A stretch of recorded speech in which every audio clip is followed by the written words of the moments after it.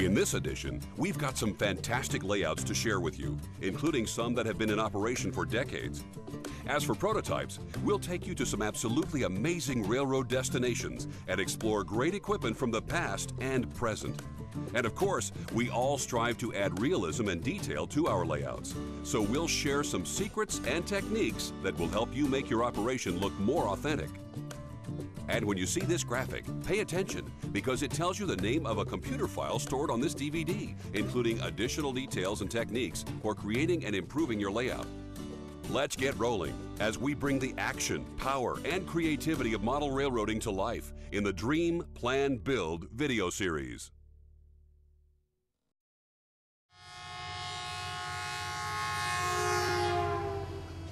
Jack Parker owns and operates Central Valley Models, one of the most respected names in model railroad accessories. He builds for others, but he also builds for himself. In the same building where he manufactures the add-ons that make your model railroad an attention getter, Jack Parker has been building his own dream. It is giant, 17 feet wide and more than 50 feet long. It's a model of the Northern Pacific near Logan, Montana, circa 1950s. This HO layout is a scaled down version of the real thing. I grew up in Montana on the Northern Pacific, in a town on the Northern Pacific, and uh, I just didn't know any other railroad. I uh, worked for the Northern Pacific as a college student and uh, in the summertime, and uh, then later learned that uh, the Northern Pacific was uh, in the 1950s was probably one of the most exciting railroads in North America. It was one of the last to abandon steam, and steam locomotives are one of my passions. And the Northern, Northern Pacific had a magnificent roster of uh, steam locomotives in the 40s and 50s as I was growing up. And uh, uh, this enables me to relive those wonderful times. So what you're looking at here is a model version of this man's memories. And what you're looking at here is one very interesting gentleman. Combat photographer during the Korean conflict, mechanical engineer, one-time designer for Revell, the famous model train kit firm. He describes his layout as a model of a railroad, rather than just a model railroad. I'm so dedicated to modeling the Northern Pacific, I, I feel that uh, the uh, personality of the Northern Pacific probably overpowers the fact that it's a model. Well, this scenery represents uh, some of the semi-arid uh, scenery around Logan, Montana. Uh, it's not literal, but uh, it's influenced by the actual uh, scenery around Logan, Montana, which is uh, an important division point on the Northern Pacific. It's where the main line divides, and one line goes to Helena, Montana, and the other goes to Butte, Montana. By doing semi-arid scenery, it, I don't have to make so many trees. we can avoid quite so many of those uh, tedious little tasks. You'll, you'll notice that some of the scenery uh, is quite a ways from the edge of the bench work, and uh, so in order to, in case there is operating, operating problems, uh, in order to reach some of those uh, areas of the layout that are beyond arm's reach, why we've had to design in and construct uh, removable panels or movable scenery. This entire railroad is built on what most model railroads consider uh, very uh, heavy lumber. I found it was easier to uh, use uh, heavier lumber like 2x4s and, and 4x4s uh, and uh, then to try to construct the benchwork out of the lighter one-inch material that is so commonly used in model railroads.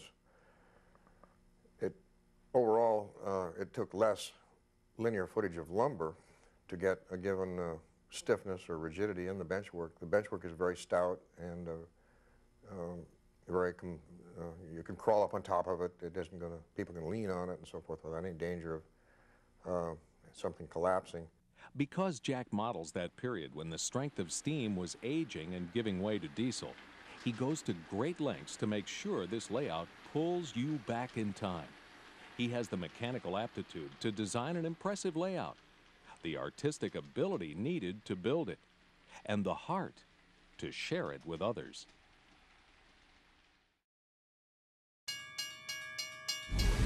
Now we're ready to wire the layout for Digital Command Control, or DCC. We've taken it off its legs and stood it up so that you can see the wiring on the bottom. What we have here are the feeder wires that were dropped through from the track. They're color coded, and we know that the white wire goes to the outside rail and the blue wire goes to the inside rail, and that will allow us to make consistent connections without having to look at the track. We're going to use these heavy 16 gauge wires as a power bus to connect our feeders to the DCC command station. I have the power bus wires connected to this terminal block that has phono jacks where we can plug the command station in so we'll be able to separate it from the layout. We'll do all the wiring on the bottom of the layout first and then we'll be able to turn it up and plug in our command station and other controls.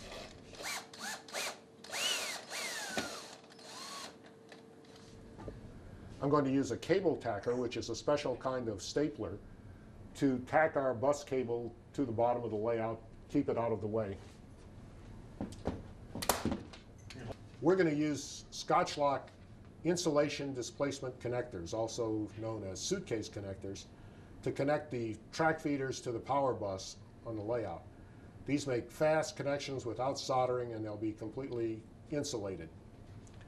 The connector has an open side that a wire can slip into. So the bus wire that's already in place can go in there. We'll snap the little side up there to keep it in place. There's a hole for another wire to go in. And then the little metal part, which is called a knife, has to be squeezed down on the two wires to make the connection.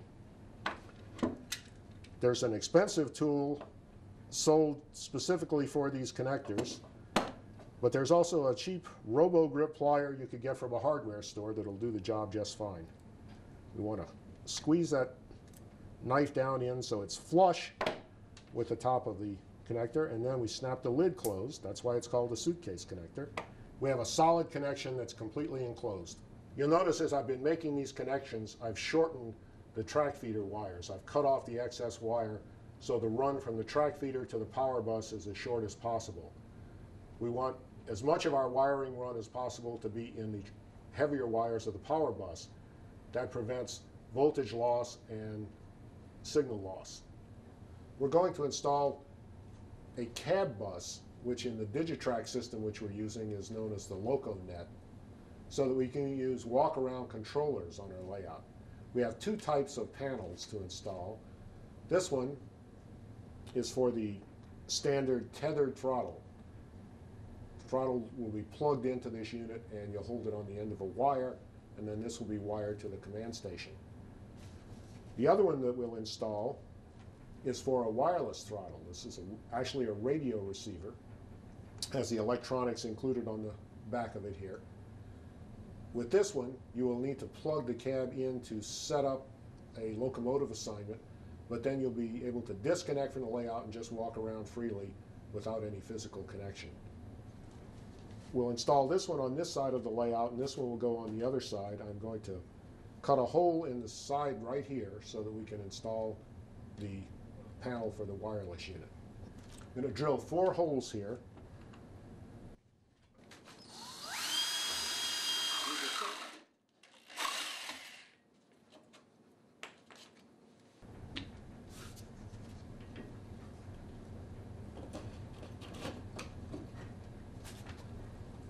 See, our plug panel fits right in there, and we'll secure it with four screws.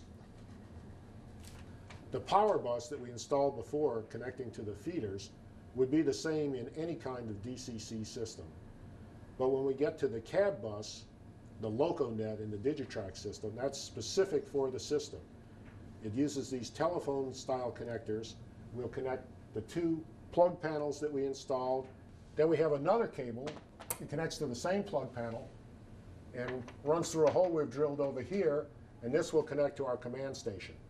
Speaking of the command station, we're going to need a power supply for that and also for the radio plug panel. And that's why we've added this power strip to the layout. And we've got these cable ties on it to secure the power supplies once they're plugged in. Now we're ready to install our DCC command station. We're using the Digitrax Zephyr, which is a unit made for small model railroads. It has a number of features. It has a set of speed and direction controls. It has a keypad that you use for several things. It, it, selects locomotives, controls functions, and it also allows you to program decoders.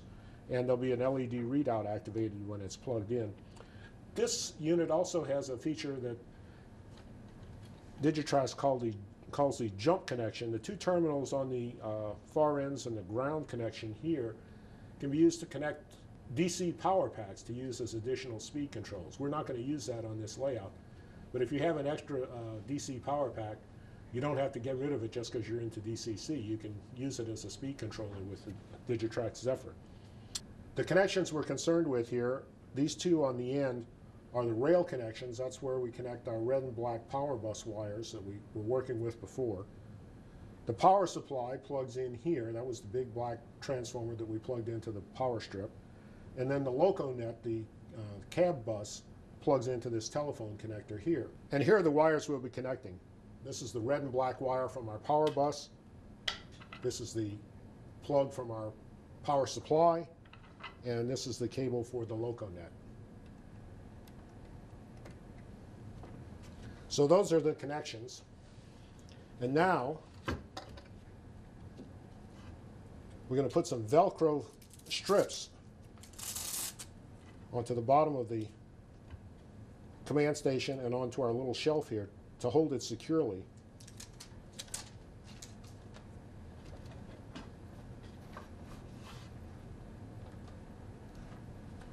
And then just press this down snugly. Now we've plugged in our power strip under the layout and we have power to the Zephyr command station. We see the loco display which shows that it's getting power, but we have to push the power button here turn on the track status light. That means we have power on the track now. I press the loco button and I can assign the locomotive by punching in its number and hitting the loco button again. When the number goes steady, that means I have the engine and I should be able to run it. Now we'll look at the two walk-around throttles we have for our Digitrax DCC system. The first is this UT4. This is the tethered throttle that has to be plugged into the layout to operate. The knobs here, thumb wheel knobs, are used to set the locomotive number. So I've got my 907 locomotive number, and then I just plug it in, and I've automatically acquired that locomotive. I set the direction switch, and it's in operation.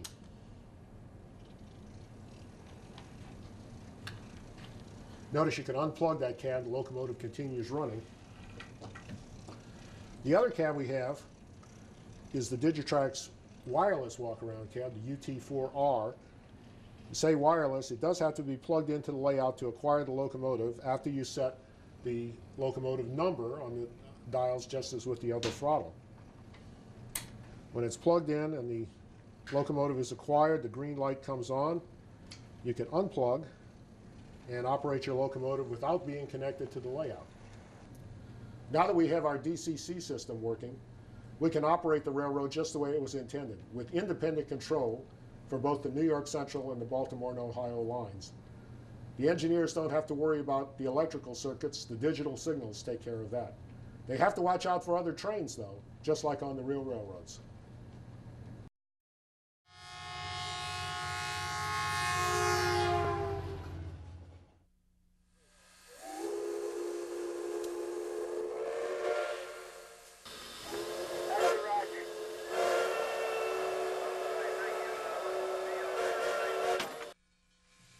If there's such a thing as a museum where the past comes alive, you're looking at it right now.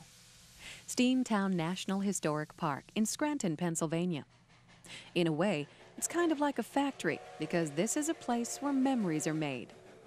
Spread out over more than 60 acres in downtown Scranton, this is a place that pulls you into yesteryear to tell you the story about steam. I describe Steamtown for a new visitor as a place uh, really for the general public and not necessarily for the rail fan, meaning that anybody can come to this place and learn a lot about the history of American railroading and how much railroading played a role in our American history. Steamtown had been 10 years in the making when it opened in 1995, and in its first year attracted more than 200,000 visitors. You don't have to look far to see why. The pure power and prestige of the steam is impressive in itself. But behind those clouds of steam, you find the story of this country's industrial revolution. Well, the steam railroad was one of those uh, really amazing uh, engines of change, if you will, in our story, in our American story. It uh, brought most of the immigrants who came to the Middle West and the Far West into this country to settle. It uh, was part of the Industrial Revolution. It really connected all the rest of the Industrial Revolution together. And in that way, the railroad became that unique business that interconnected every other business. It was the veins and arteries of the American economy. And while it connected up the economy, it also connected up our social fabric. Uh, people could live in small towns and out on farms and be connected to the rest of the world. They could get their mail in the newspapers. They could order packages from Sears and Roebuck and Montgomery Ward, get the mail every day.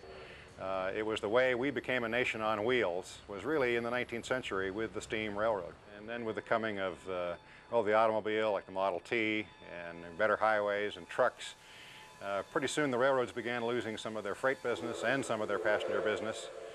And that whole process really escalated after World War II.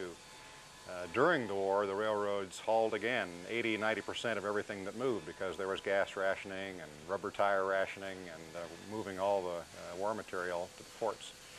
But after World War II, the bottom fell out. Uh, traffic went in the tank as uh, the highways and the trucks really took away the, the, the, goods and the people. Airlines began, began to be a real factor in the late 50s and early 60s. And uh, pretty soon uh, the passenger business was gone and just struggling. Uh, Amtrak was created in 1971 to basically save the American passenger train. And many railroads uh, with their remaining freight business uh, went bankrupt. Leo McLean, now in his 70s, might just be one of Steamtown's most knowledgeable employees, and certainly one of the most colorful. He worked this railroad line long before it was a museum. Because I like railroading. It's got in the end of my blood, and uh, you can't get it out. I don't care what you do. And I, I still come over here, uh, even in the winter time when I'm laid off, I, I still come over here and visit and walk around and see what uh, new developments they have. It's tough to say what you will be most impressed with here. It might be the nearly 30 steam locomotives or the nearly 90 freight and passenger cars. It might be the reconstructed Delaware Lackawanna and Western Railroad roundhouse and yard. Yes, it's a working roundhouse with an elevated walkway so you can get a bird's eye view. 200,000 square feet, which also house two museums and the story of the evolution of the steam railroad. But one thing that is sure to take your breath away is the excursion ride on a working steam train. All aboard! You're not simply looking at history, you're living it as the train rolls along 13 miles of restored Lackawanna main line. Combine the beauty of the train with the majesty of the Poconos, and it's a breathtaking sight you will not soon forget.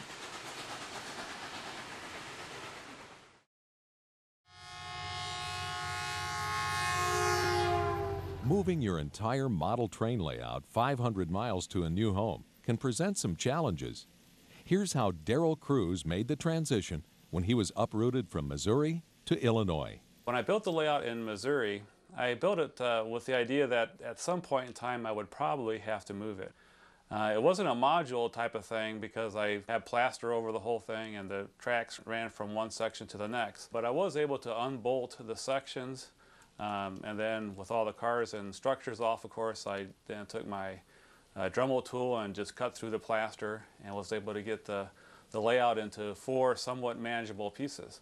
Daryl had much more space in the new house for his train room. But first, he had to finish the basement. Luckily, his new town became a major source of inspiration. Rochelle, Illinois has an active Union Pacific main line that crosses the Burlington Northern Santa Fe line. It's one of the best train watching spots in the Midwest.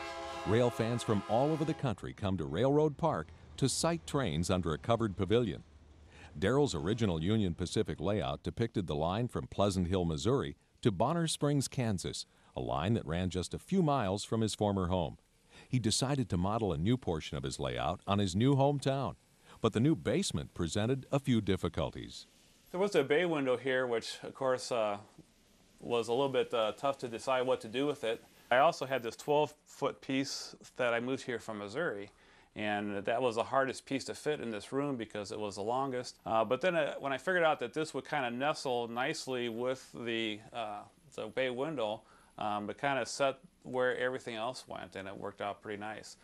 And then uh, I've always wanted a nice long high bridge because uh, I wanted it to, to, still look mid midwestern. I didn't want any you know steep cliffs and so forth, so I wanted something to be more more gentle uh, rolling, and, and the bay window kind of you know, worked out pretty nice, I think.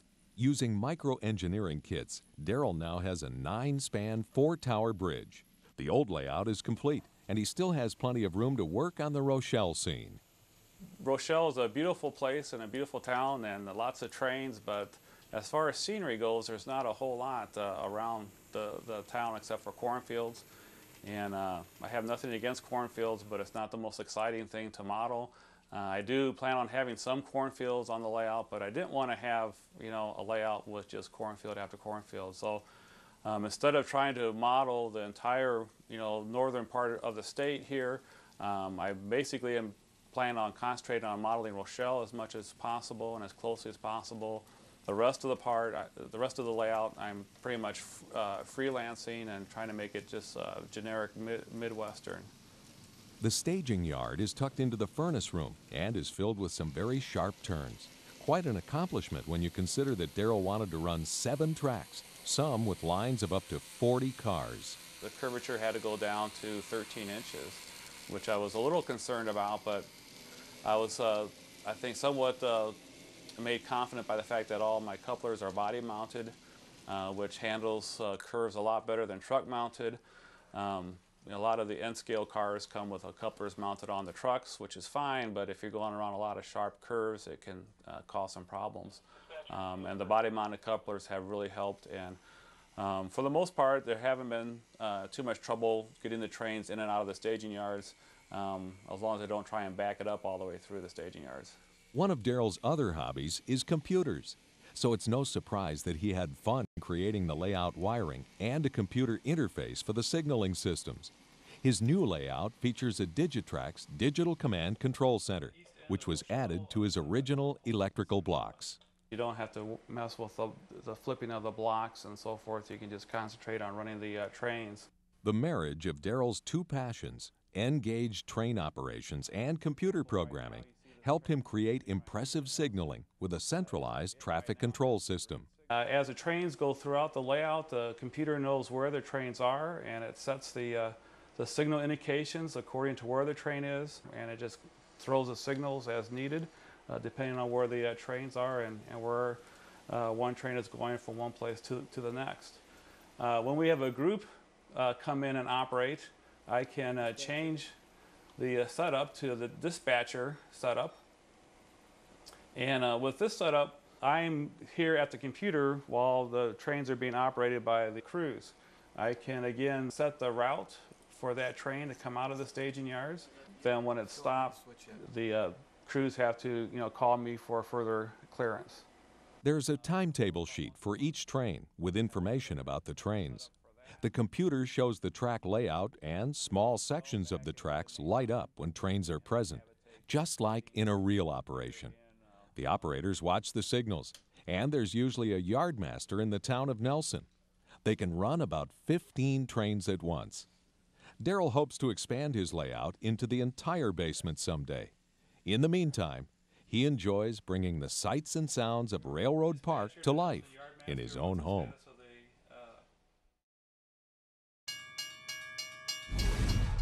Car cards and waybills are a system for directing the movement of freight cars on a model railroad.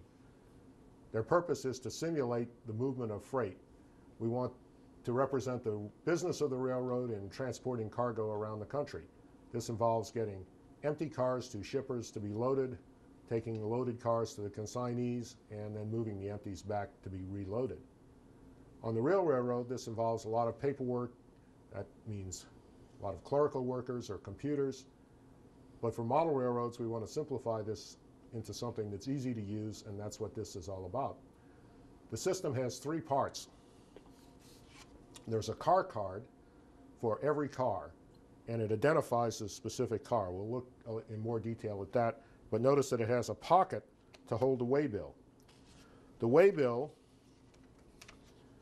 tells where the car is going, and that slips into the pocket.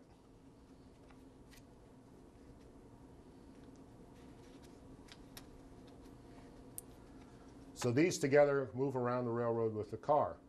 You can see that if you have one of these car cards for every car on your layout, plus a bunch of waybills, you're going to have a lot of these things to keep track of.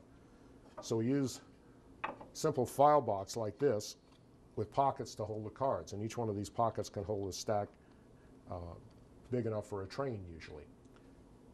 The boxes and the printed forms for the cards and the waybills are all available by mail order, so you can do the whole thing with off-the-shelf items. We have the, the type of car, tank car, where it says AAR, that's the Association of American Railroads car classification. Uh, you don't necessarily have to bother with this, but it's a, uh, a system that the real railroads use, so a lot of people like to do that. For this tank car, it would be a type TM. Then railroad and number is what we call the reporting marks that identify the car. And that's what you see on the side of the car right here. So this information comes right off your cars. So you have UTLX 77496. UTLX is the Union Tank Car Line, a tank car leasing company. For description, uh, you can use this line for basically anything you want.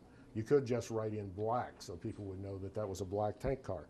I've written in ICC 103 because again, from the uh, small data on the end of the car, that's a, an identifying type for this tank car.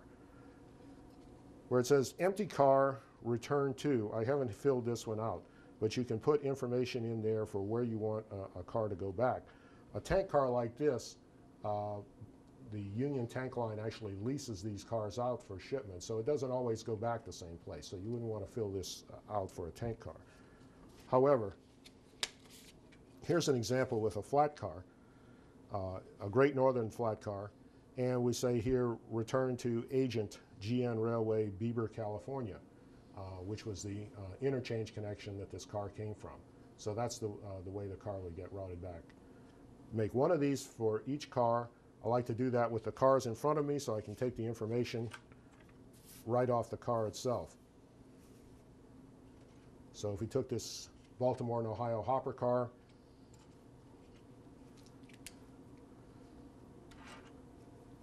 kind is a hopper. The AAR class is HM. The railroad, B&O for Baltimore and Ohio. And the number 733147. And description, in this case, we'll say 50 ton. And again, that comes from the classification this uh, empty uh, car returned to. Uh, since this is a car that would be used in coal service, um, we'll say something like return to B&O agent Kaiser, West Virginia, which is down in the coal country where uh, the B&O carried a lot of coal. A couple of references that are handy when doing work like this. This is a copy of the official register of railway equipment. Now this is a book that's published for the use of railroads and it identifies all the cars that are in service in the country. This is a reproduction that was published by the National Model Railroad Association uh, dated January 1953. So it's right in the uh, period of the model railroad that we're working on, the Black River Junction. And this book, besides listing all the cars, has the information like the AAR uh, car types that I was mentioning, it also lists the interchange points for each railroad so you can see where your railroad might connect with another railroad. And that's all useful information in uh, filling out these forms. It's also handy to have maps so you know where the railroads go. Uh, this is a, uh, an atlas uh, that has uh, state maps uh, showing all the railroads in each state. Um, and you can also use railroad system maps for the particular railroad that you want to model. Um, that information is, is helpful in keeping things logical. You want to know where your railroad is located in the world. We're saying our Black River Junction layout is in northern Ohio. And then you can understand where cars from other railroads would have to go in order to, uh, to get to your railroad and where you want to send them back to. A car's number is its unique identification. So if you wanted to have a fleet of cars like these B&O hoppers, you want to make sure that each one had its own individual number. Some manufacturers sell cars in groups where you get the same type of car with maybe 12 different numbers.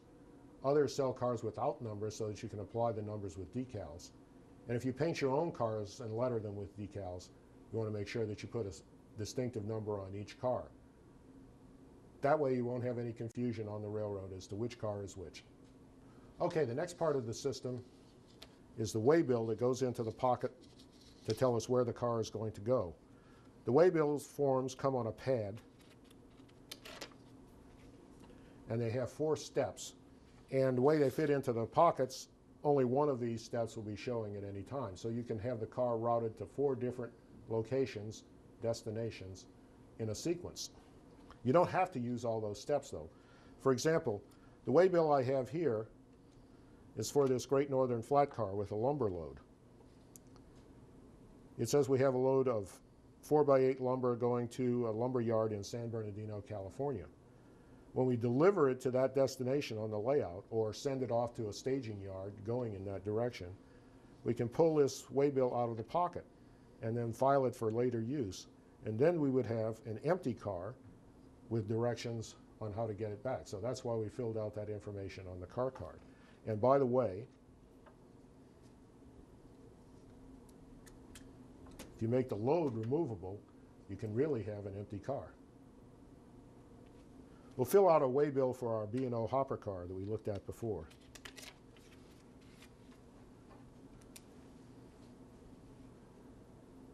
The information doesn't all have to be filled out. You only need to put in what you want. We have a factory on our layout that we haven't named yet, so we can just write in factory. It's the only one. It won't be a problem. The address line would be Black River Junction. We'll just write BRJ to save space. And we'll say the routing is B&O NYC, Baltimore and Ohio to New York Central, because the factory is actually on the New York Central part of our layout. So this car has to be interchanged to the New York Central. And in the VIA line, we'll just write New York Central INT for interchange. Now there's information here for the, uh, the shipper and address. We don't really have to care about that. It's a load of coal. Uh, it came out of the ground. Uh, but we're right in coal so we have the lading. And that waybill can slip into our pocket, and this car is ready to go for our first operating session. And you only have to fill out one of these steps to get started in operation. You can always leave these things empty, uh, use them as I showed before by just pulling them out and sending the car back on that direction, or you can fill out as many of these steps as you want to. The last part of our system are the file boxes that we looked at before. The cards go right in there. There are different ways of organizing your cards in the, in the file boxes. One popular way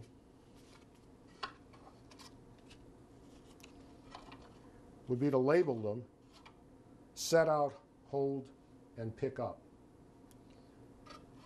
The sequence of operation with this system would be when you deliver a car in this town, and each town would have a box like this.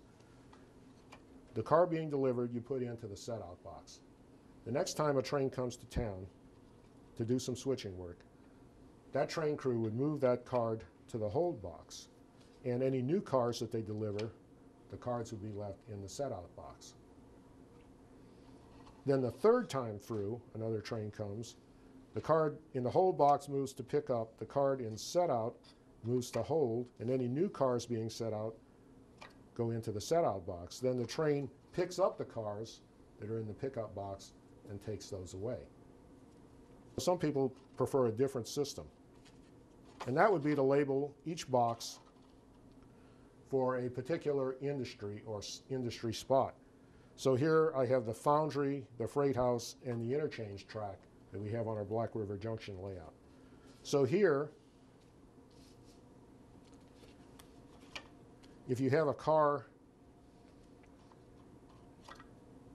let's see, in the box, and the waybill says anything different than the the label on that box, then you would pick this car up and take it away.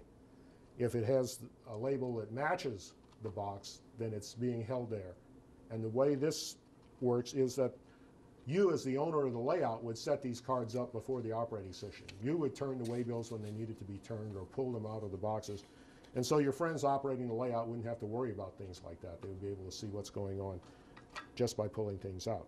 Now, I'm using these tall cards to label the boxes, and this is a good way for you to try out a, one or the other system and see what you like.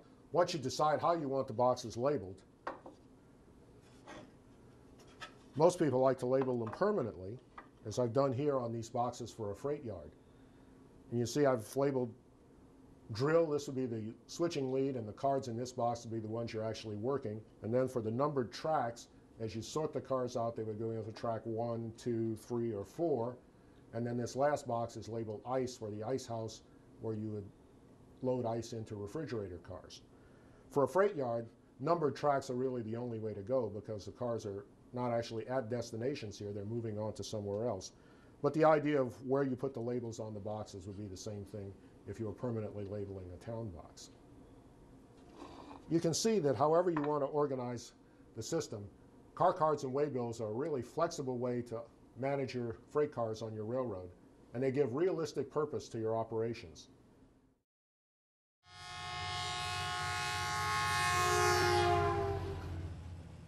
Like most people who are into this pleasurable addiction we call model railroading, Rob Spangler spends an awful lot of time in his basement. Well, with work and everything else in our modern life, it gets to be so stressful. It's nice to have something to uh, come home to, to uh, exercise your creativity and to uh, get some relaxation and uh, do a lot of the things that you just don't get to do when you're on your job. Rob has been into model railroading since he was about eight years old. A mere 20 years later, this young man has put together a layout that would be the envy of any enthusiast. He's built the Northern Nevada Railway. It's a fictitious extension and wholly owned subsidiary of the real Western Pacific Railroad. It runs from southern Idaho through northern Nevada. The time period, late 1970s, early 1980s. Rob has recreated the visual feel of the railroad as the trains roll through a sparsely populated and seldom modeled region. Realism was his main desire. Mission accomplished. On top of the strengthened scenery base, I start applying plaster with a fairly large tool like this uh, old drywall knife and do very little basic shaping at this stage. Just get the plaster troweled onto the the cut area based on the initial plan that I had for what the basic shape of it would be, and then I start refining it with several other tools. I can use a putty knife and a lot of the larger vertical cuts through this plaster are done with a putty knife. And it will break out plaster around the knife. You can see around the knife here there's a fairly large area that was broken out. And that will create natural looking broken strata. And another tool that is extremely helpful is an artist palette knife. Something like this costs only about a dollar. And it can be used also to bring more strata lines out and it will cause smaller amounts of plaster to break out because it's a sh smaller, sharper edge. And as the plaster gets harder, we can switch to different tools. Some of the final carving is done with something like this wood chisel. I started the uh, room construction by preparing the room as you would any other room in your house with uh, normal studs and drywall construction. Uh, down the center of the room, this backdrop, we did something a little different because this area of the railroad is very narrow and we didn't want operators kicking uh, benchwork supports under here. We built a stud wall and attached it to the ceiling and are supporting the railroad actually off of the ceiling. That's why there are no legs under this area. On this Western Pacific boxcar, there was no kit available that had this paint scheme represented accurately. But I did have a photograph of a similar car I took in Salt Lake. And it allowed me to locate all of the decals properly. I did have to modify the doors slightly. There were a couple of castings in this area on the door that were not there on the prototype. And so I removed pieces of plastic there. I also replaced the grab irons on the corners, added some grab irons on the ends, then painted and decaled the car to match its prototype. To make uh, trees like bo box elders and cottonwoods that are common along the uh, river courses in the west, I start with uh, natural materials. I go out to the canyons of the Wasatch or the salt flats and start grabbing dead bushes. To add a foundation for the uh, leaves to finish the tree, I use this uh, polyfiber from Woodland Scenics and stretch it out as much as possible so that the tree has a see-through effect and start draping this stuff around the branches. For adhesive, I use uh, thick, yucky hairspray from the uh, cheapest bottle I can get at the grocery store and start attaching various grades of ground foam. Want to saturate an area pretty good with the hairspray because any place where the hairspray isn't, the foam won't stick.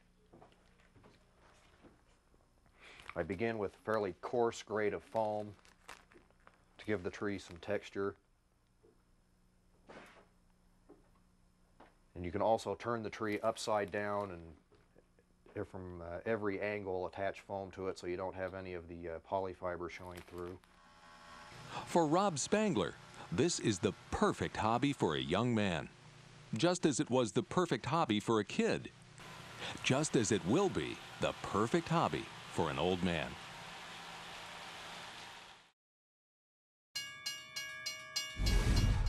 Weathering is a name that we model railroaders use to refer to a variety of techniques that you can use to add a little extra realism to your locomotive's rolling stock or structures. Today we're going to talk about adding some weathering with an airbrush. An airbrush is basically a very small paint spray gun. You'll use it to apply very light coats of paint over the existing paint and lettering on your locomotive or your car. Two basic things that are going on here. One is you're simulating the weathering, the dirt, the grime, the rust that comes from the locomotive or car itself.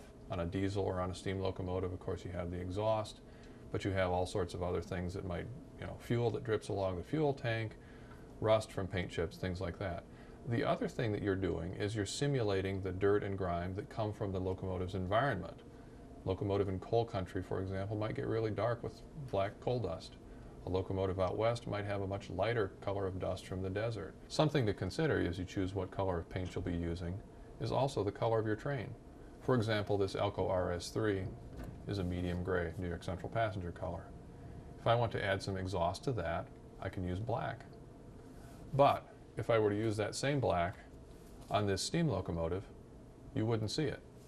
You might use a medium gray or even a gray that's darker than this, something we modelers often call grimy black, on a steam locomotive.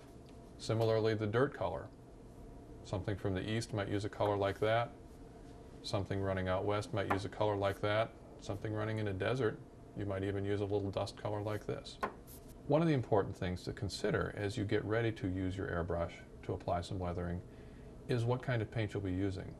And you want to match your thinner to your paint. For example, if you use an acrylic paint, a water-based paint, you'll want to use a solvent that's meant to be used with that paint. If you use an enamel, an organic paint, a solvent-based paint, you'll want to use a thinner that's appropriate for that. You don't ever want to mix them, however. If you use a thinner for, made for use with acrylics with an enamel, you'll have a problem, basically a plugged airbrush. And the same if you do the opposite. I have a couple of different thinners with me here today, as you can see. But because I'm going to be using Tamiya paint, I'll use Tamiya thinner. And to help it go on just a little bit better, I'll add a few drops of what's called flow enhancer to each batch of paint that I mix up. All the flow enhancer does is help the paint break up into slightly smaller droplets so it'll go on a little more smoothly. Step one in getting ready to paint is to mix your paint. Now one thing I advise is that you never shake your paint. I know you'll see it done a lot, certainly at the hardware store when you buy a gallon of paint for uh, repainting your dining room or something. But what that does with a model paint is gets paint up on the lid where it'll dry. And then, when you go to run it through your airbrush, little flakes of that dried paint will get in and plug the brush. So instead I take a stick, usually I just use bamboo skewers that I buy at the grocery store, and mix the paint until when I pull the skewer out, I don't see any clumps of pigment on the bottom. So now I have my paint mixed, I have my airbrush. I'll put a little bit of thinner into the brush first. Not everyone does it this way. I like to. Of course, some brushes you actually use a bottle of paint that attaches to the bottom. This brush has what's called a color cup on top. So the paint and the thinner go in the top. I like a top loading brush because it allows me to use a little bit lower air pressure. You aren't having to draw the paint up from the bottle, so it's a little, you can go with a little bit less air. Add a little bit of flow enhancer, and then I'll just take an ordinary soda straw, plug the top with my finger, and drop a little paint in. You'll talk with some people, I'm sure, who will tell you that there are fixed ratios that you should be using when you mix your paint. And honestly, I think that's a pretty great theory, but in reality, different paints, even from a different batch of paint, depending on how old it is, they'll all have different viscosities. And so you'll want to thin them differently based on the paint you're using. Good rule of thumb is to thin the paint until it has about the consistency of milk. Okay, now let's take our brush and put a little bit of exhaust smoke on the Alco. I always like to start the air flowing before I pull back the knob and start any paint flowing. Alcos are known for their heavy exhaust, so around the exhaust stack here, I'll give it plenty of black.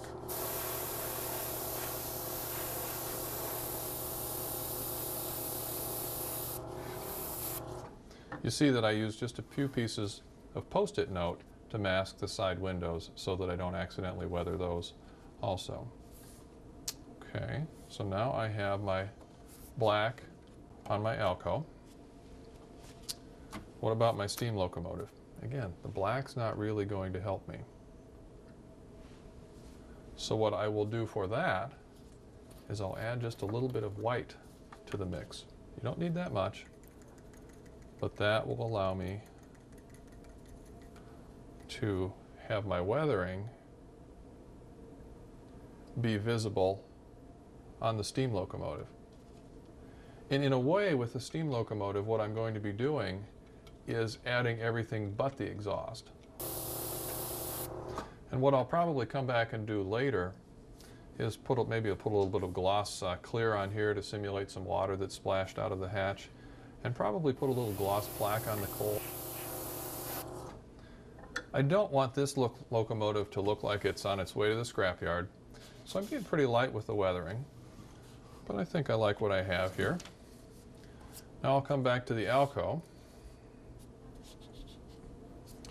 and use this dark gray on its running gear, which is black.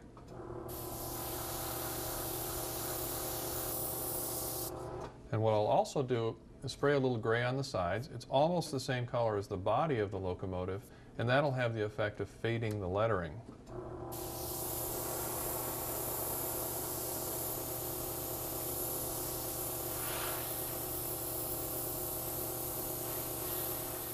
You can also take passenger cars, or in this case an RDC, and weather them. Now generally they were pretty clean, so I don't go real heavy. I'll lighten the trucks a little on both sides. Then I'll come back and add a little dirt on the roof to simulate the exhaust. Then I come back with just a light overall coat after I've highlighted, or in this case darkened, the grills. Some guys like to mask things like grills or mask around them. I generally don't. Uh, depends on how comfortable you are trying to paint up to a line with your brush. Again, you're weathering so it doesn't have to be a sharp line and in fact it looks a little artificial. But you can do that if that makes you more comfortable. Or you can use what's called a soft mask, which is to just take a piece of paper, hold it a little bit of a distance away, and that will give you a line but not a real sharp one. Here are two more tips that I think you'll find useful. One is that you can take a car, or locomotive for that matter, give it a light overspray of its base color. And what that does is it has the effect of fading the lettering, as if it's been in service, maybe not in a really dirty environment, but just like the paint starting to wear off a little. Let's take a look.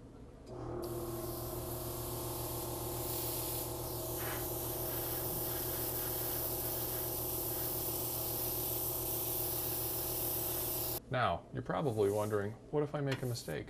Do I ruin my locomotive my piece of rolling stock? Not necessarily. If I hit it with a little Windex,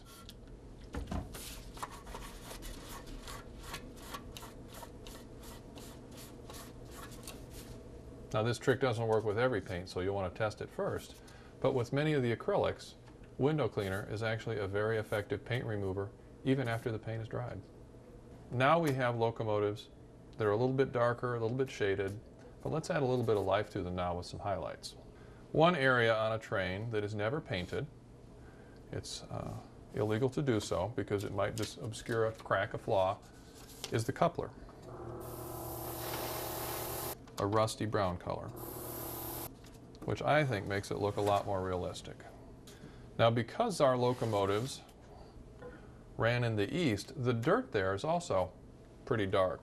So I will be able to use this color or one very, very close to it for my dirt also. But before I do that, I'll simulate a little bit of rust from stone chips.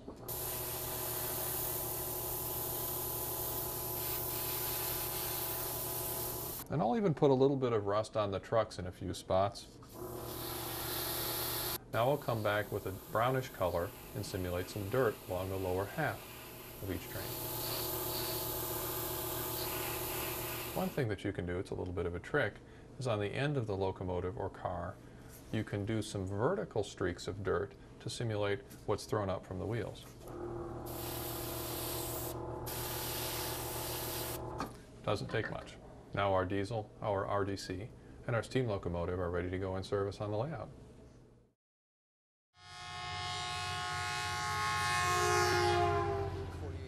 Many garden railroads are family projects, and that's certainly the case with Andy DeLucia's Sierra Nevada Northern Railroad. This garden is special to the DeLucia family because the Japanese bonsai trees here were gifts from Andy's father-in-law 30 years ago. He said that they needed to be watered every 20 minutes, and I kind of laughed, and he laughed with me. And he said, no, we're going to put them in the ground. And, but you have to be careful because a lot of these trees I'm giving you are 60 to 70 years old. Andy had a lifelong love of trains, but it was his son, Brian, who inspired the Garden Railroad. He was two years old. I got this size train, this G-scale train. We had it going around the Christmas tree. And then uh, as he got older, he said, Dad, why don't we go outside? And I said, yeah, sure. so I put it out on the deck uh, first, and then eventually he said, no, no, no, we would need to go in the garden. They started planning how to blend a new railroad with the 30-year-old garden back in 1999. We only live about 20 miles from the gold discovery site in Coloma, California here. As moving all this dirt around, which is a lot of it's decomposed granite, a lot of it's rock, a lot of it fell into the stream, and lo and behold, as I'm working on it, I see gold in there. And if you look really carefully, you'll probably still see gold floating around in there. Not enough to really do much, but uh, the railroad saw a profit on its first year. the Sierra Nevada Northern Railroad's time frame is 1939, when this make-believe railroad was struggling to recover from the Great Depression by servicing gold and silver mines, lumber companies, and even cattle and sheep farms. In the south, at the lowest part of the layout, the railroad connects the town of Truckee and the Southern Pacific Main Line through the infamous Donner Pass. Then it climbs north to the Western Pacific and on to meet the old Nevada, California, Oregon Railroad. With Andy's background as a professional photographer, it's no surprise that he always kept an eye on how the trains and garden would look, much like he would if he were composing a photograph or a painting. It can take as long as six months to scratch build some of these detailed structures. Recent additions include a firehouse and a garage. And there's the A. Adams and Company, maker of fine cameras and lenses, a tribute to Ansel Adams, the father of nature photography. The wood that's used here on these buildings, it was originally used in the Southern Pacific trestle on the Sacramento bypass. And that trestle was taken down in about 1920. That old wood that was taken out of there was put into homes in the Fair Oaks area of Sacramento. And just recently, about three years ago, that wood was torn out of those homes. And uh, my friend helped me cut up on a table saw, and it became these buildings. The wood is knotless, it doesn't have any knots in it at all. And people who look at this wood in the large pieces of wood are just totally amazed how beautiful redwood is. A lot of this redwood here is from the original growth redwood trees in Northern California. Andy and his friend Jim Daly scratch built or kit bashed all of the structures to fit the railroad's theme. And there are lots of personal touches. The graffiti you see around the layout is family momentous occasions. Here on the water tower, I have my youngest son's graduation day. I've had my oldest daughter get married. You'll see that on other graffiti and the layout on the bridge, and you'll see some graffiti written on another water tower, etc. Andy and Jim also built all 10 bridges out of plastic or metal. All the oak trees here, there's quite a few. There's in this backyard, there's 12 that are within range of the railroad. And the oak trees are beautiful trees, but it can be kind of destructive because of their leaves. There's a lot of acid in their leaves. Other plants love them, but wood does not like it.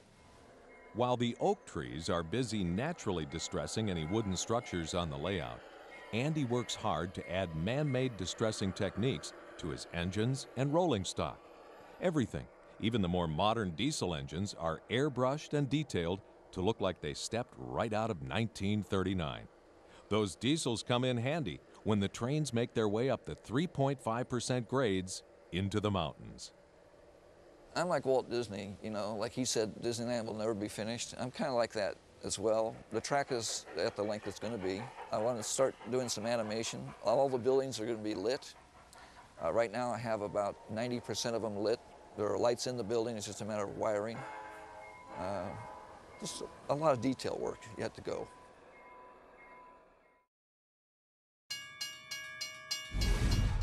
On this particular model railroad, we're going to take and put a river on each corner. And so I'll start by marking the location of the river. Right on top of the scenery using just a black marker. I'm actually going to draw the river a little more narrow than how the final river will appear because we're going to cut the banks of the foam away on a slope. So, looks pretty good for our starting point of the river. We don't want to get the river too close to the track uh, because uh, actual railroads wouldn't allow the, the riverbank to get that close to their right-of-way uh, for fear of washing out the track. So we've got a fairly good distance here. Next, I'm just going to take a, a, regular utility knife and I'm going to cut through our foam scenery layer. I'm going to cut all the way down to the bottom of the, uh, the layout, and in this case our bench work is covered with plywood. And the plywood is going to form the base to our river. Work the knife in, following my mark. Now that I've made the initial cut, next thing I'm going to do is take this vinyl scenery layer that we put down and peel it off. It should be easier to make the final cut I'm going to use this putty knife to take and make the last bit of cut in the foam. So now all that should be left is just pop this guy out. There we go. River. Now that we've got the river section out, we're going to take and slope the banks down. You can use a number of different tools to do this. I'm going to use this old wallpapering knife. Uh, it's got a nice long blade, but I like it because the blade is curved as well, which makes cutting uh, slopes into curved pieces uh, a fairly easy process. So I'll begin by starting on one side of the river and I'm not going to take and make a complete cut into the slope. I'm going to take and make a partial cut first. This way, if I don't like what I've done, I can take and come back and change the, the slope later.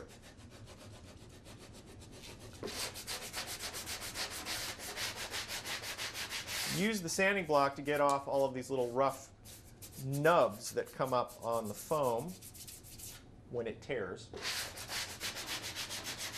The bottom of the river, in this case, is plywood.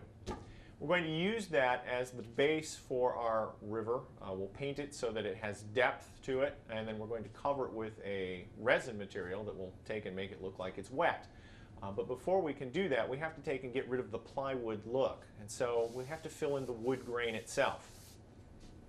For that task, I'm using a um, lightweight spackling compound. This dries very quickly, and so it's easy to use. You can put on several layers within the course of an hour, sand it, and be ready to paint.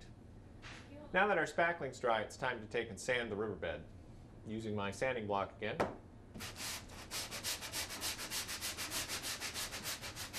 We'll take up any of the high spots that are left by the spackling. The next step is to take and make our riverbanks, and for that we're going to use a product called Sculptamold.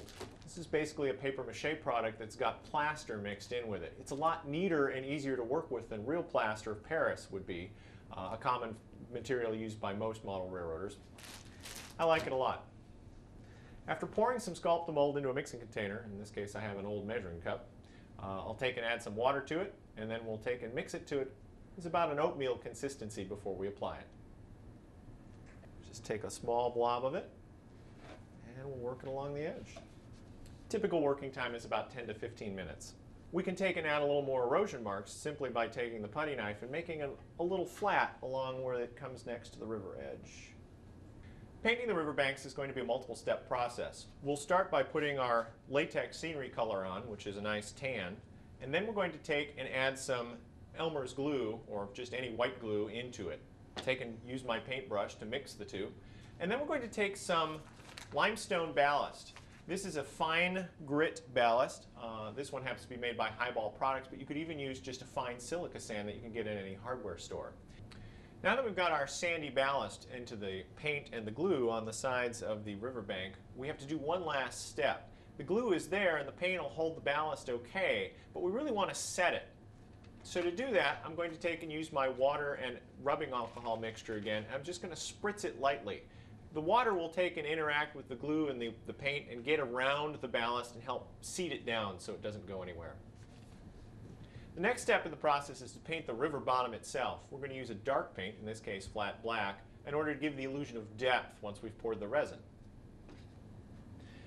The next step in our river process is to take and airbrush in the banks. This is going to take and feather in the sides into our black paint that we've already put down and make it look like the river has depth when we pour the resin over the top. The important thing is that you remove the sharp edge between the black and the tan. Finally, we get to add the water to the river. We've done all the painting work, and so here we go. We're going to use realistic water. It's a product made by Woodland Scenics. It's a water-based resin. Start by pouring the resin into the middle of your work. Don't pour too quickly, or you'll get resin that runs up onto the sides of the riverbed and then will pull away later and it'll give your water an unnatural look because it won't be flat. Once you've got the resin poured as a start into the middle of the river, take uh, an artist paintbrush and just push the resin to the edges. Well, our river is almost done. The last thing we need to do is add the ripply waves to give our river that realistic look. For this part, I'm going to use another product from Woodland Scenics. It's called Water Effects.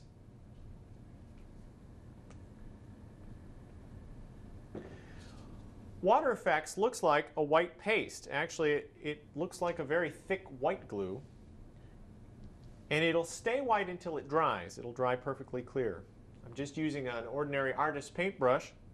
And I'm taking some of the Water Effects paste out of the bottle and dabbing it around, just pushing it up and down to make little, little wavy tops. As this dries, they're going to sink down and uh, smooth out some. But the final result will make it look like natural waves on our river. If you want taller waves, say like on a lake, you can add multiple layers of the water effects material, building up each layer of waves as you go. And there we go.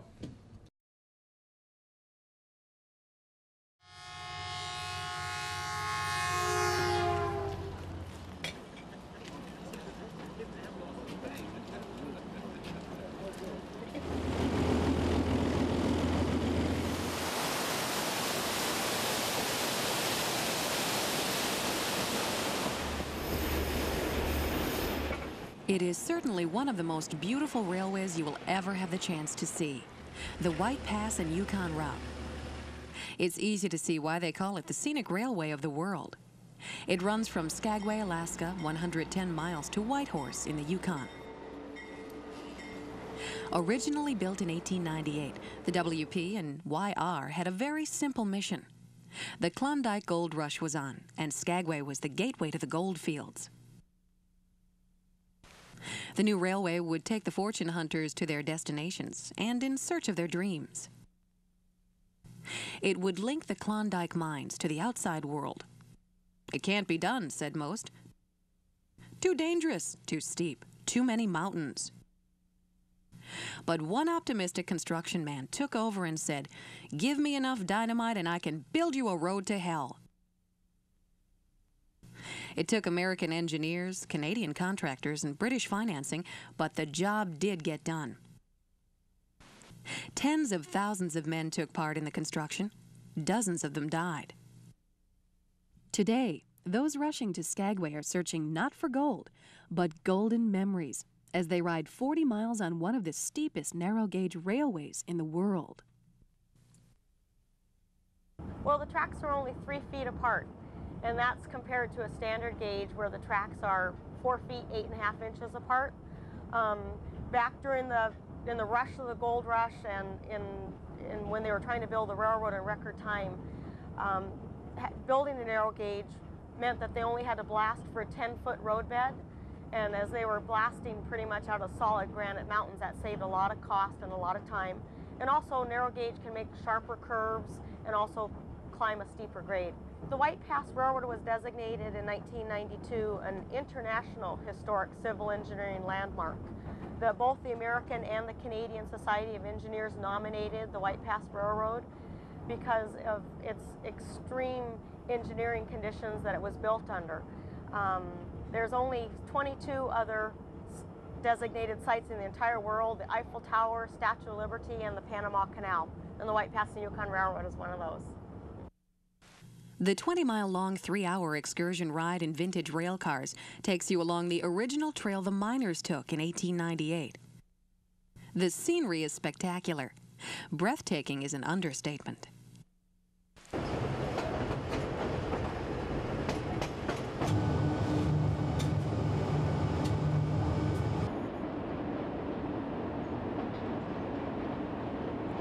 during the ride up to the summit today, we're going to see um, cross right over waterfalls and go over wooden trestles that are 250 feet above the floor of the gulch.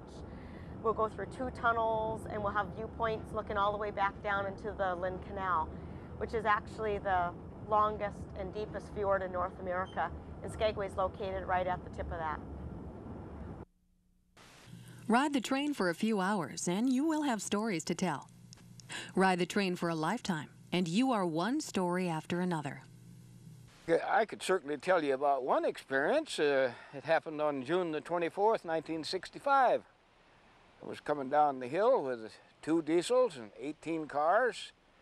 There was uh, passengers on the rear of the train, about 150 of them. I come around the curve up here just above 8 Mile and the track was gone. And uh, the engines went down, crashed into a rock wall, and I tumbled down the mountainside. And I'm here to tell about it. Tiny Skagway, population about 800, gets nearly one half million visitors a year. All of Skagway is really exciting.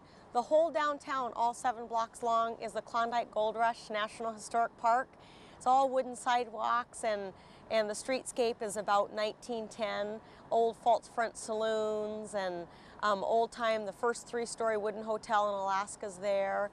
And uh, the Park Service um, was de dedicated the city of Skagway uh, National Historic Park in 1976, and they've refurbished half of the buildings, and private citizens have refurbished the other half. And so you almost feel like you're walking into a movie set right from 1898. So it's pretty exciting. Skagway really is a proud town. Proud of an historic railway Proud that it's ready for the 100 year anniversary of this narrow gauge masterpiece proud that it is home to this rare spectacle of mountain railroading.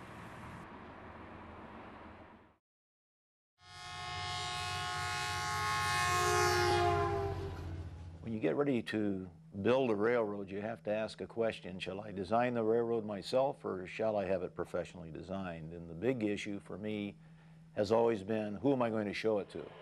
And if I'm going to show it to my friends, I only had one option, and that was to have it professionally designed. I've built several railroads on my own. I know what my capabilities aren't, and I felt that uh, at this stage in my life, I think I'd rather have it done professionally, and I wanted to have my railroad done as close to museum scale and style as I could, and as a result, relied upon professionals. I had a choice in the railroad, and I either could do it uh, in an average style or in the best, and at my uh, stage in my life, everything that I've tried to achieve over my lifetime has been of the highest quality, both in our own construction business and in my hobbies.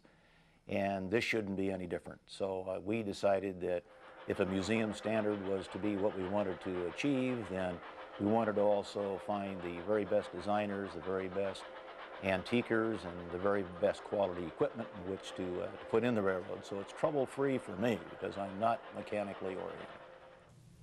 Believe it or not, this fantastic layout is tucked away in the loft of a barn on Ron's Meadowbrook farm in the Napa Valley. If you could bottle this place, it'd be rare and expensive. The discriminating connoisseur would savor every moment.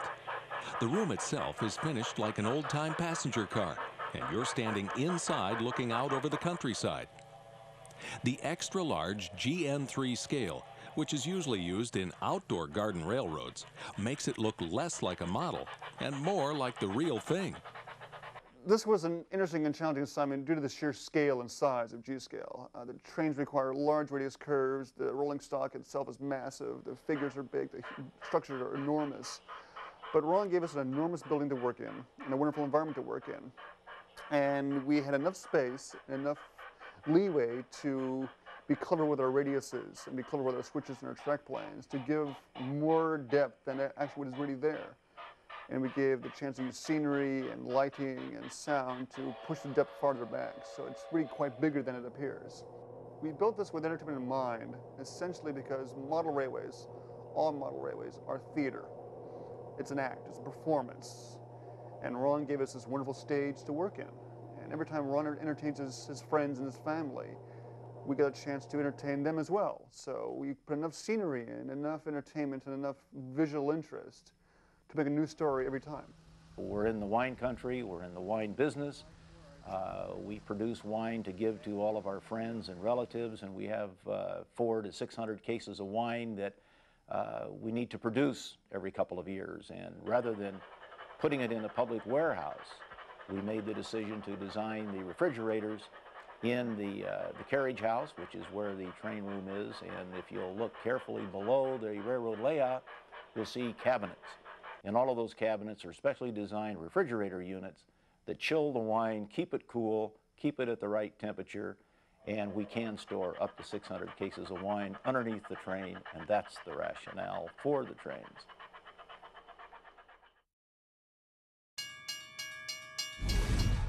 Figures, vehicles, and other details are the final touches of a layout, and they're often they're the things that really bring a layout to life. Um, and just like any other step in a, the layout building process, careful planning really goes a long way. And three things that you always want to remember, your setting, you want to remember what era you're in, and you want to remember the season. For example, on our Black River Junction layout, we're dealing with mid-1950s, uh, a junction point of the New York Central and the Baltimore and Ohio, and it's, it's probably springtime or summertime. So you want to take all those things into consideration, and also you want to make sure that you populate each different section of your layout. Don't leave anything too barren. You don't want to overdo it, but then again, you know, you don't want to have a, a big empty hole. And the other thing is now, it's real easy to have different scenes specifically themed for things like industrial sections or passenger depots or just city scenes, uh, the, the, manufacturers really make it easy so you don't just have to have a bunch of people standing around. Um, in fact, there are some manufacturers who even make things like vehicle and figure sets. So you basically have a mini, mini scene all ready to go. You have your, your policeman giving a gentleman a ticket. You have folks here, either they're getting ready to go on a family vacation or maybe they're just returning from a trip. So that's the main thing is you want to populate your layout. Um, we have newsstand scenes. We're even going to later on, we'll take advantage of uh, a river detail on our layout and we'll have a fishing scene. And you really want to tell a mini story. And with vehicles, one thing to remember too about your era is even though we're dealing with the mid 1950s, not everybody drove a new car in 1955. So we have a mixture of vehicles from the late 40s, some even a little bit earlier, you know, moving forward to the, the 1950s. And also, another tip with cars, and nowadays, again, manufacturers make it easy, is when we're going to be laying things out on our roadway, you'll see we have vehicles with drivers for on the road. We also have some empty vehicles that we can put in parking lots and on the curbside and things like that. Um, another thing that we particularly lucked out on is we actually have a Baltimore and Ohio delivery van that we'll be able to use a, at the transfer station on our layout. In addition to ready-built figures and ready-painted vehicles, there's also some simple kits that you can buy, um, simple wooden kits of things like grade crossings, uh, small structures, line side details, or a billboard kit like I have here. Um, these are laser cut kits uh, that go together very easily, and they often include uh, not only period styling but different period advertisements.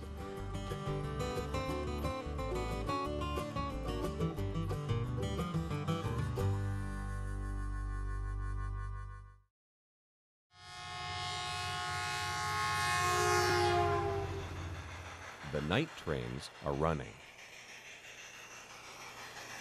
It's a special thing to see here at the Twin City Model Railroad Museum in St. Paul, Minnesota, where trains run for the public six days a week.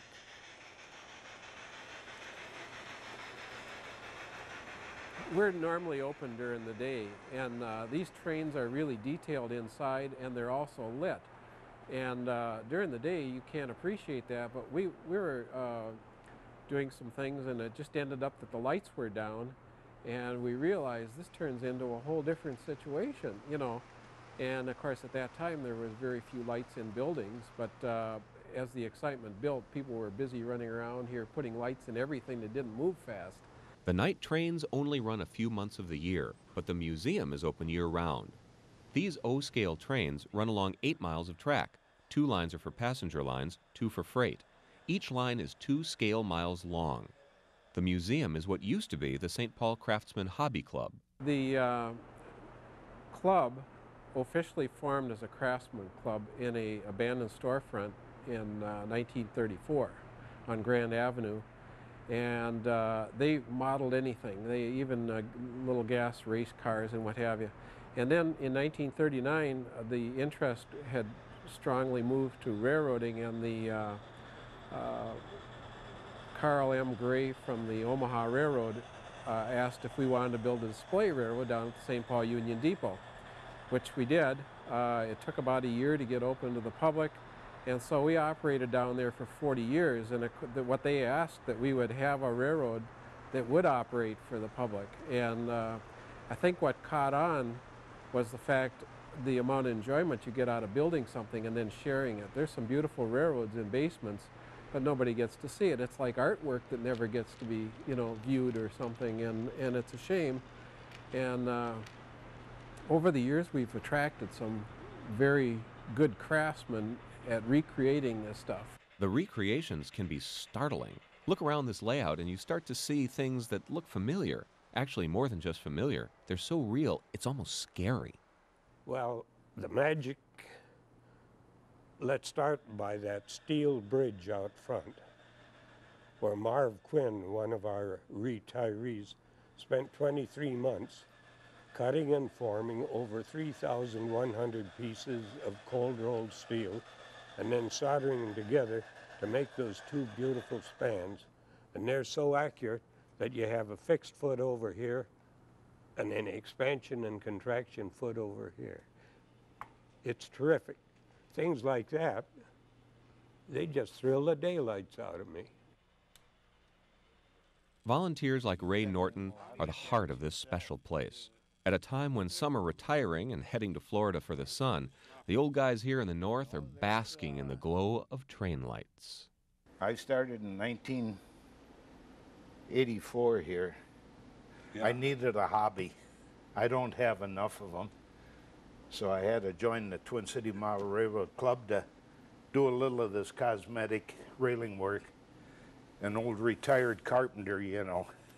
Well, he So- calls it a carpenter, but I tell you, if you look closely, he's more like a cabinet maker because the work he does, it's just beautiful. For instance, the edging around here and the cabinet up front are display cabinets. They're all good. I mean, uh, Well, I tell you, Mr. Norton, I think the one thing I am proud of is, is Jim Hill's Stone Arch Bridge. yes, indeed. And uh, the studying I had to do to build that was just He's fantastic. got over 2,500 pieces of wood in that thing, and the paint job's enough to drive him squirrelier than usual. The layout depicts the Minneapolis milling district as it looked from 1935 to 1955, a transition era, a time when steam and diesel engines worked side by side. Here you'll find an ever changing display of impressive trains, including one Hiawatha that holds a solid place in Ray Norton's heart. You see this space back here? In 1940, I wanted to go from Milwaukee to Chicago rather rapidly. My cousin and I, we'd been down to the NMRA, the National Model Railroad Association convention, and we wanted to go down see his dad at Chicago. So we were hoboing, and as they pulled out of the station, they went across a grade crossing. We ducked under the gate and got on. And I clocked miles as rapidly as 34 seconds. That meant that he was running 106 miles an hour. You see, the driving wheels on that engine were seven feet in diameter, and they didn't have to turn over too often to cover a mile. So, uh, then, in order to miss any reception committee they may have had, when they got down to about 20 miles an hour, Jack and I dropped off. Oh, but it was beautiful, and it's something I haven't forgotten. Now that the layout is done, it's here for you to visit. But don't think just because it's done, you're always going to see the same old stuff. Well, the first thing is you mentioned the word done, and in model railroading, there just ain't no such thing. That's, you understand, because they can do a beautiful job on it, they'll just get on another beautiful job and add it, or they will make a change. But uh, it's never done. Okay, so done was a poor choice of words. There's always something different here. Anything that makes it into the layout is thoroughly researched to make sure it's just right. Sometimes the fantasy of it all impresses more than just your sense of sight and sound. A little boy come in. I had a box that I was standing on. He just climbed right up there in front of the depot or in front of the uh, White Castle, and uh, I- asked him if he could see the guy standing inside. He said, "Yeah, I, I could see him." I said, "Can you see his hamburger?" And he says, "Yes, I can." I said, "Can you smell it?" And he said, "Oh yeah," you know. So we have a lot of believers that come down here. We we really haven't mastered the smell of a White Castle, although it does linger. As long as the love for model trains lives, you'll find guys like these keeping them going. And while they might argue over what's better, steam or diesel, you just know they're having a grand time. Every once in a while, we soften up just for the general public, but other than that, why, we are our old natural selves. We get in each other's hair as often as we can. And we both And- have hair yes, it's thin, but it's there. The Twin Cities Model Railroad Museum brings in visitors from all over, folks for whom a day at the rails is a happy one. you can't beat it because it's a railroad that runs well. It looks good. And it, the models are really quite accurate. So, for one who loves model railroading, what more could I ask?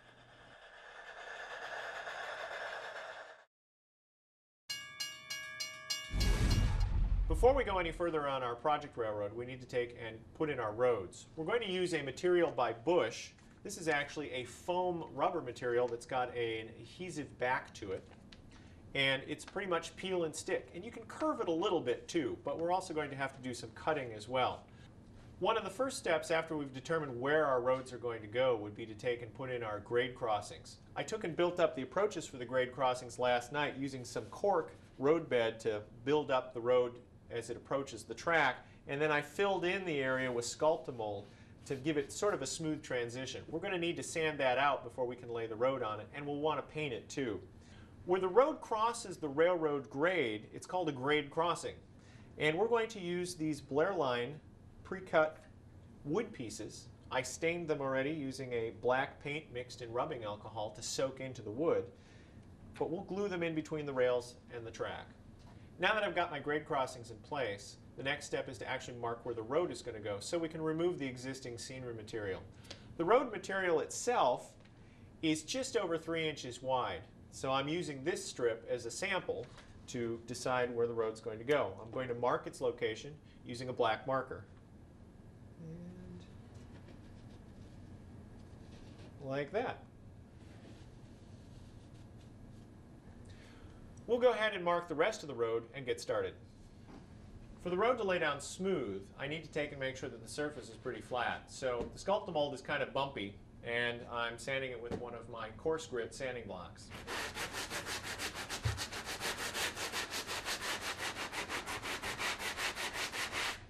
You can see this process generates a lot of dust, so it's good to do it early on before you have a lot of finished scenery down. It makes it easier to clean up with the shop vac later. Now that David's gone ahead and marked the outlines of the road, I'm going to go ahead and spray inside the marks with 70% isopropyl alcohol.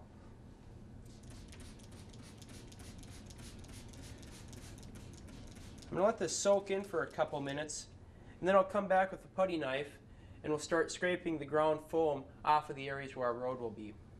And as you can see, this comes up very easily in one pass, and it's pretty much all removed. And it leaves a nice clean surface for the road material. This grade crossing here does not approach the tracks at a 90 degree angle. So we had to cut the grade crossing at a 45 degree angle.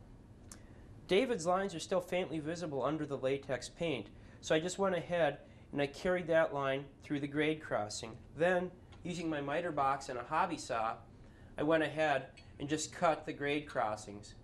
You'll notice that some of the, the uh, edge here is still raw, but we can go back and we can stain that later with a wash of black paint. Now that Cody's got the grade crossings in and the paint on our approaches is dry, we can lay the road. I'm going to take and start by peeling back a little bit of the road material and I'll start in this corner here, uh, flush up against the grade crossing, and work my way over to the other road. So here we go.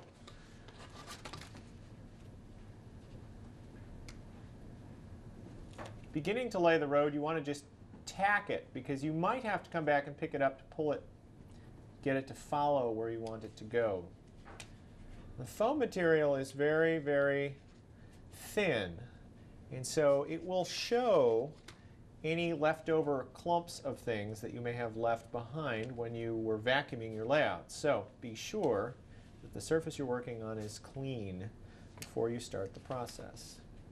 Now I'm slowly pulling back the paper with this finger here while I'm using my other finger to just guide where the road goes as I angle it towards the other grade crossing where we'll connect.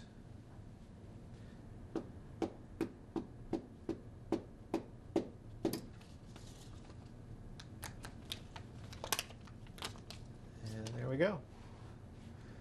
Now that we've got the road tacked in place, I need to roll it to get the adhesive to stick. I'm using a wallpaper roller. You can pick this up at any hardware store. It just has a round wood head. And I'm going to take and use it to press the road in along the path that we've just laid it before.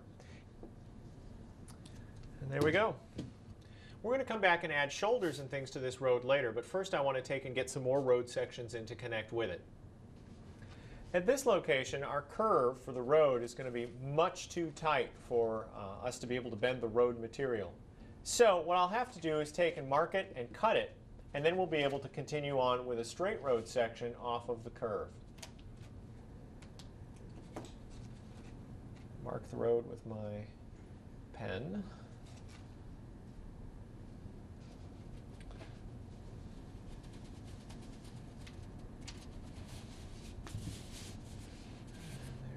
Can now add a straight section right off of this curve and keep going this way. Now that we've installed the roads, it's time to add the scenery around them. What we're going to do is use some ballast to create a gravel shoulder for the road, and then we'll fill in the rest of the ground foam scenery to blend it in with our scenery layer on the rest of the layout. To do that, we'll start with our friend Elmer's glue.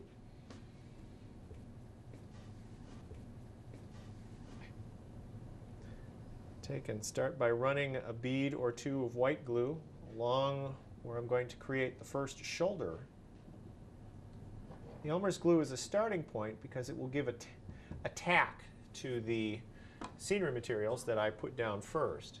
But then we'll come in and fill in with scenery cement later to make it all stay firm. Wet my paintbrush to get the glue to spread a little better. Now you want to be very careful here because you don't want to take and get the glue on the road itself because we don't want our gravel to stick to the road surface. We just want the shoulder to run next to the road. The next part will be to put the ballast along the roadside. I have the ballast put into a styrofoam cup here to make it easy to work with. And I just take a plastic spoon and I'll just gently tap it along the edge. You don't want the shoulder to be too large, but big enough for motorists to pull over if they have a flat tire or just get tired driving home. With that in place, next I'll sprinkle in my ground foam. Start with the weed layer first, which is the thicker or coarser ground foam. And since this part of the railroad here is just going to be open space, I'm going to take and add some ground foam to that area too. We'll just finish the scenery in this location all at the same time.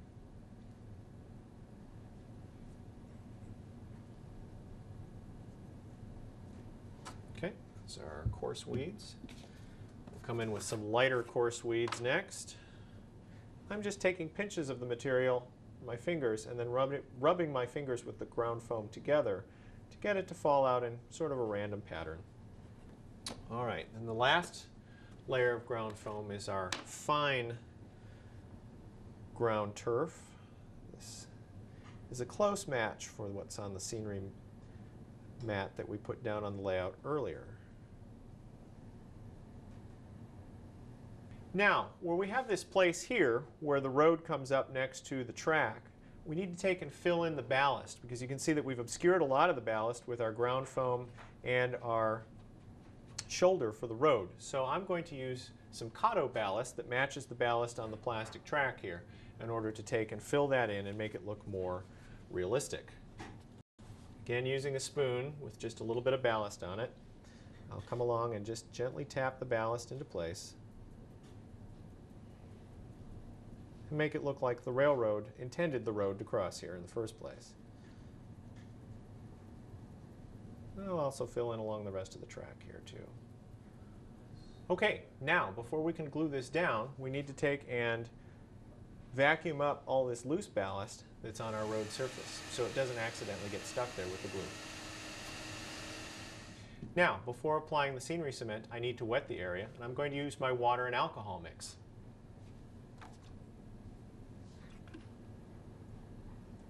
This time, because I'm working in a small area, I don't want to use the misting bottle because it will get everything wet. And I want just this area to be wet so I can do other things in other parts of the layout. So I'm using an eyedropper. And I'll just very carefully drop the water and alcohol mix onto the scenery. And capillary action will take and pull it in through all of the ballast and the ground foam. I'm using this as a wetting agent so that when I put down the scenery cement, the scenery cement just moves in between all of the little granules and ground foam pieces and doesn't bead up and dislocate them. With the scenery layer wet, now I can take and add the scenery cement. Again, using an eyedropper, and this time my scenery cement bottle. Go along and very carefully place the glue into the scenery itself. Just like with water, I'm allowing capillary action to suck the scenery cement up into the areas where I have ballast or small piles of ground foam. We've finished the shoulder along that piece of the road, and now I can move on to the next.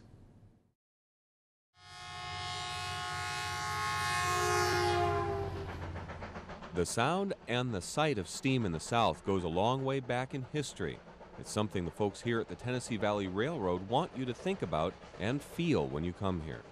We try to keep everything as, as authentic as possible. Um, the, the, uh, the, crew members dressed appropriately and, and hopefully um, responding to the passengers the way that that the passengers could have expected to be in, in the, around the turn of the century, for instance. We have rolling stock from what we call the golden age of railroading from 1910 to 1950 or so.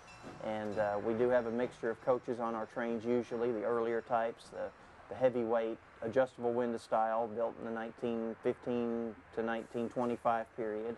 And then also the new, uh, we call them modern coaches, built in the 1940s and 1950s. And those would be the lighter weight coaches um, with air conditioning and so forth. If you think about it, the sound of the whistle and the steam blasting into the sky is a kind of air conditioning. It gives this place the air of being locked in another time, one where gazing out at the south through train windows was something new, not nostalgia. Well, we are trying to preserve a little piece of history, um, and, and running the, uh, the trains from that period, of course, is part of that. This is what people would have, uh, they would have experienced when they rode the train uh, back in the days when you didn't have automobile travel. Uh, people didn't have a car in their parking in their garage or you know out in their driveway. They didn't just run out, jump in the car, and take off. Um, they were more accustomed to a scheduled environment. Um, of course, they would usually ride their horse or their horse and carriage to the depot, and then catch the, the train to another city, for shopping or for visiting, for whatever purpose. But that was the lifestyle, and, and that's what we're trying to portray.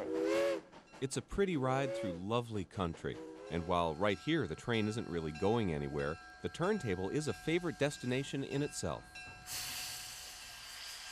As always, the stars of the show are the steam engines. Just like people, each has its own story. Well, locomotive uh, number 610 is kind of unique. It's the last locomotive built by a major builder for domestic use here in the United States, built by the Baldwin Lima Hamilton Corporation uh, after the mergers. It was built in 1952, actually two years after the uh, plant closed down. Um, it was built for the U.S. Army Corps of Transportation. They use it for training purposes at their facility in Fort Eustis, Virginia. Uh, it was brought here to the Tennessee Valley Railroad in 1990 and restored back to operation. And we've been running it now for about 10 years. It's an excellent performer, with proper maintenance, of course. Proper maintenance is something they're proud of here, whether it's restoring an old loco or keeping up gems like this old tunnel that was hand dug before the Civil War. Attention to detail and authenticity of experience keep visitors climbing aboard year after year.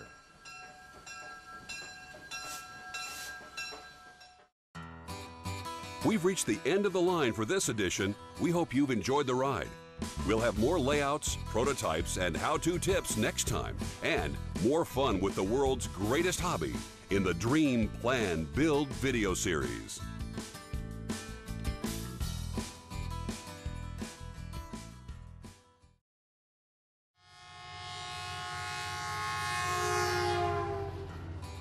Welcome to the Dream Plan Build video series. In this collection, you'll see amazing layouts of fellow modelers, some of the most interesting trains and railroads around, and plenty of tips and techniques to make your time at the workbench and at the throttle more productive and a lot more fun. We'll travel across America in search of layouts we all dream of operating and get inside the heads of their builders as they describe how they designed and built their prized railroads. Plus, whether you're running a 4x8 or a 40x80 operation, you'll discover tips and techniques to make your rolling stock run smoother and look more realistic.